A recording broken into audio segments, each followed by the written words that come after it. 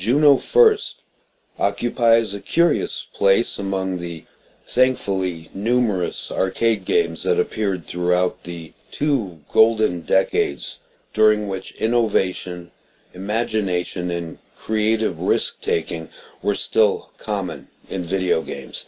I don't use terms like Bronze Age and Golden Age and, I don't know, Calcium Age, with which some people insist on lumbering the wondrous story of video games.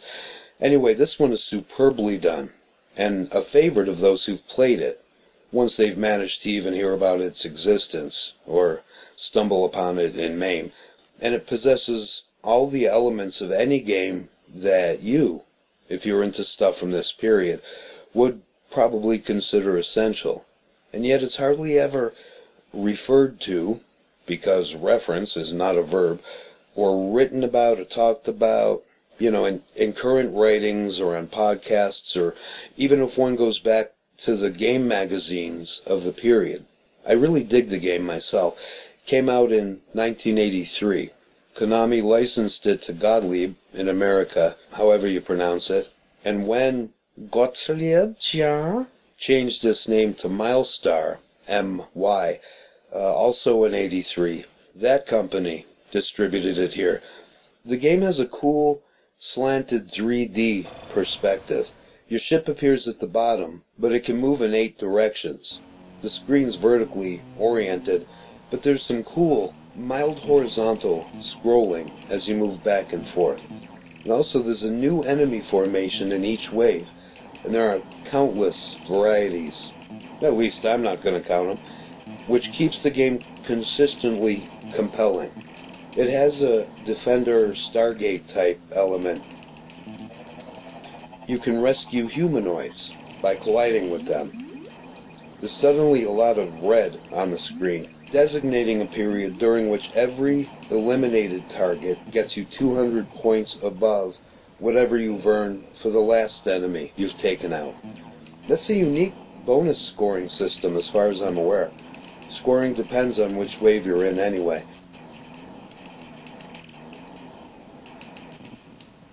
See what happens. You guys think it's all fun and games until somebody gets hurt.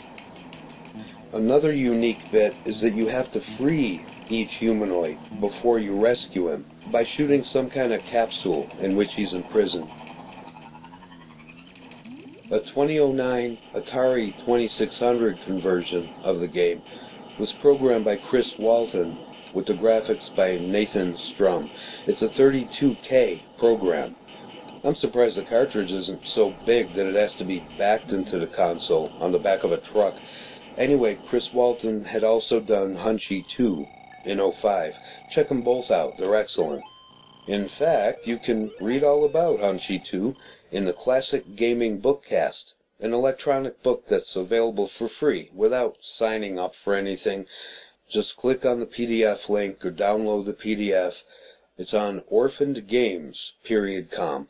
I happen to write it, as well as a lot of the articles that are also on that home page, along with Adam Trionfo, who you know as Bally Alley. Uh, but that's all incidental, of course. And why the weird title? Well, a good guess is that Juno is the name of a space outpost, and the player, who controls the colony's last few survivors, because you get more than one ship, you see, must put Juno first. In other words, don't turn your ship around and just leave like any sensible guy would do. Our stupid but brave, those words often mean the same thing, pilot fights to the death, and we get to have fun at his expense since he has to do whatever we tell him via the controller. Ha! In the manual for the 2600 translation, we read that the player captures enemy astronauts. Well, I say that I'm rescuing humanoids. The arcade version sounds like Defender anyway. And I don't want a bunch of enemy astronauts taking up space in my ship, arguing about who gets the front seat, and eating my sandwiches. Besides, it's well known that invading aliens don't use deodorant. You can have up to five laser blasts on screen at once. Yes, I've counted those. And there's automatic continuous firing. You know, if you hold down the button. It's very floaty and zappy. And I dig how you can circle around instead of just sliding back and forth. It gets incredibly hard before it gets too repetitious. I have read that if you survive until you've completed Wave 16, the formation from Wave 1 returns, and so forth. The aliens stay Wave 16 mean, though. You can fatally shoot a humanoid, although he takes a second to die, so you get the chance to think about what you've done. Personally, it makes me feel bad, because I don't get any points for it.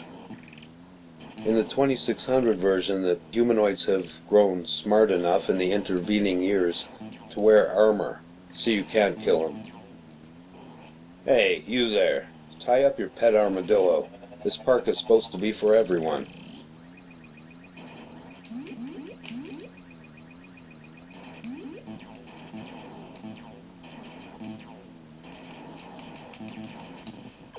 There you go. Now, Juno not to mess with me. Oh, come on, that was funny.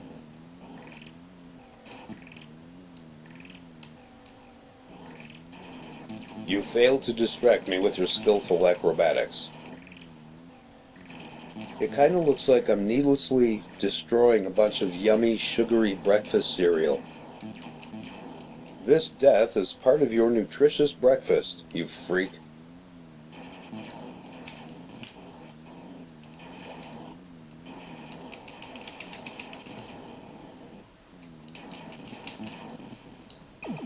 Aw, did you see that? They helped me sweep all the sandwich crumbs out of my ship. How kind.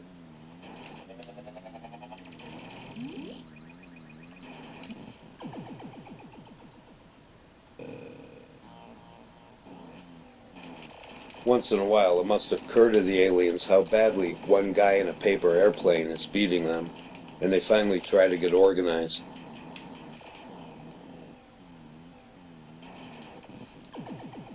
That didn't work out for you either. What else you got?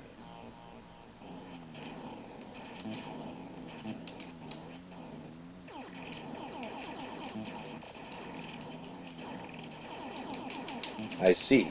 You're firing things at me that fire at me. That's pretty desperate. It's quite an original element, though. I have this on the easy difficulty, by the way, with five ships. I wanted this film to last long enough to talk about the game. The default settings are exactly what you would imagine.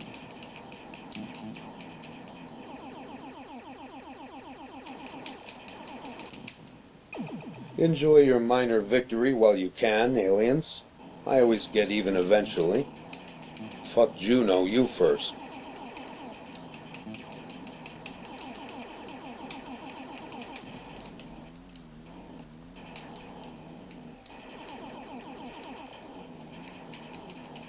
Here's one of them humanoid capsule things. Maybe it's a space cage. It doesn't have bars, see, because he would be sucked out through them and be freed and dead. He wouldn't make for much of a hostage then, would he?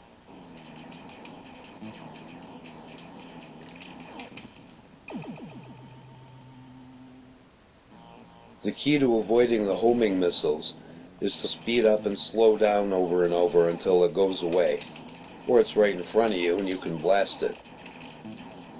Damn right, you move when I say move. Your paper airplane, or perhaps open space umbrella, can warp, as it's called, and it can do this three times, as you can see to the upper right. Another is added when you clear a wave, but you cannot surpass three at any time.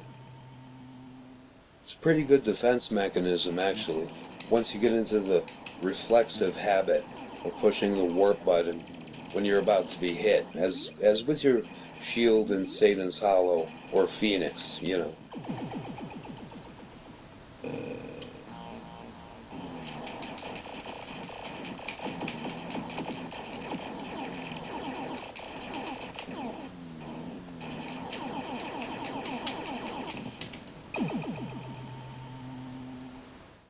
I put Juno seventh or eighth, not first.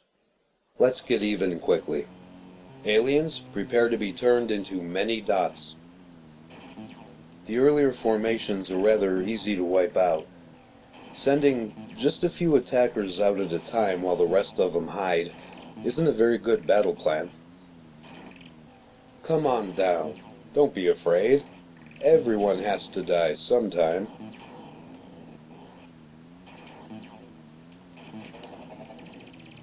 Juno first. Don't overlook this one. Well, unless you love armadillos too much to kill them.